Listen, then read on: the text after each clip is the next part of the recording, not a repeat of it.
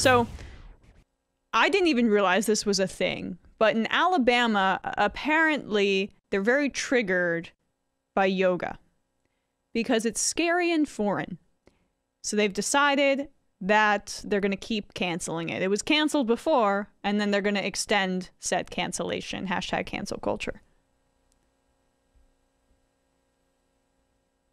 Alabama's decades old ban on yoga in public schools could, well, it could stay in place just a little bit longer. A bill that would reverse that 1993 ban stalled during a Senate uh, subcommittee uh, hearing after two conservative groups uh, shot it down. Uh, they argue that bringing yoga into classrooms, back into class, would promote Hinduism. Now, the proposed bill does address those issues.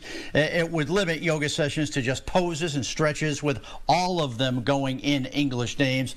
Also, chanting and mantras oh, would not be allowed. Oh, meanwhile. Ah, okay, so no shavasana.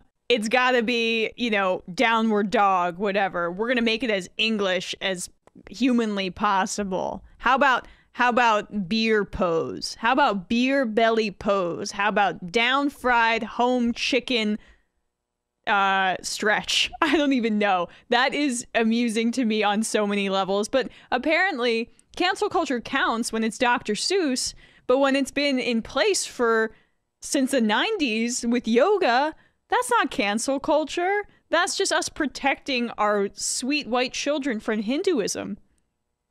It's, it is this alternate reality where the Hindu threat became the the big uh, boogeyman of the 21st century instead of Islam. Like they they just got the they were on the wrong memo in, in 93. Yeah. Yeah. I mean, I so I guess this is a part of their argument that this teaching yoga in in schools would violate separation of church and state because it originates which they super which they super love in Alabama. Exactly, right? I mean, they're a secular society, so they're being consistent on this front. I was blown away to find out that this had been in place in the past.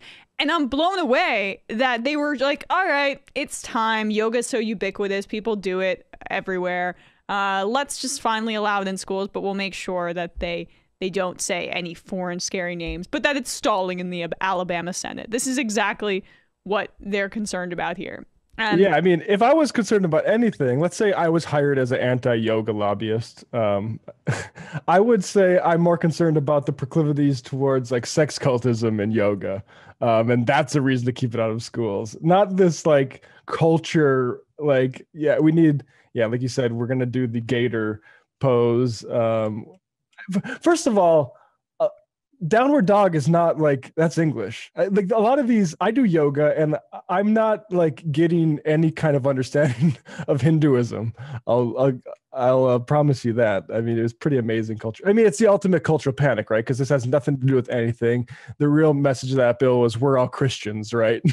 Basically yeah, well, down, downward dog, I don't think is necessary. Like that's a that's a different kind of shavasana. But uh, there's like another word for like regular shavasana is just basically when you're in resting pose. But I think if you're really Americanizing it, sometimes they call it corpse pose or like or or yeah, like those all those are the names I know it as. I never hear somebody say, "Let's move to a name I don't understand." It's always back in the pre-COVID days. I've gone to studios where they'll say the the traditional phrase and I'm like, can I look around to see what the hell right. I'm supposed to be doing?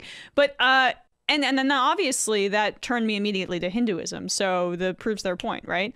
Um also they should be teaching yoga because one it treats it allow like I'm not going to be, you know, Brooklynite pro yoga person, but yes, I am actually because they there's a reason they're doing it in some prisons throughout the country because it allows you to clear your mind, it calms you down, it gets you more in touch with your body, and it's a very healthy form of exercise. So come on, Alabama, let's go. It's it doesn't have to be Hindu indoctrination. Yeah, it is like honestly, I, I, we didn't do any kind of yoga, but I do remember stretching, and that was annoying. If I could have done it on mats with like some sort of process behind it, I would have enjoyed it a lot more.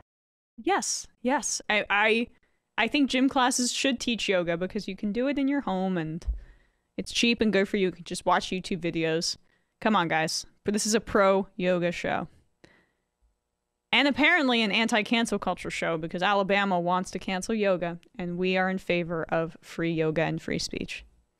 Well, the funny thing that somebody told me about Twitter, you know that Grinch Act guy we talked about last week. So one un like one unfortunate ramification from his perspective of that Grinch Act is is it might hurt uh, southern states' ability to cancel like secular education, uh, which would be a hilarious uh, you know own goal there. Uh, I guess we'll have to monitor that to see how it goes. Uh, curb your enthusiasm music uh, play it in the background right as you zoom Yeah. on that guy whatever his name is that incredibly uncharismatic congressman who's trying to make a name for himself on the national stage um But yeah, I mean, yoga better than CrossFit. I think is the um, the conclusion we can come to after the last few days. Uh, 400 times better than crossfit yes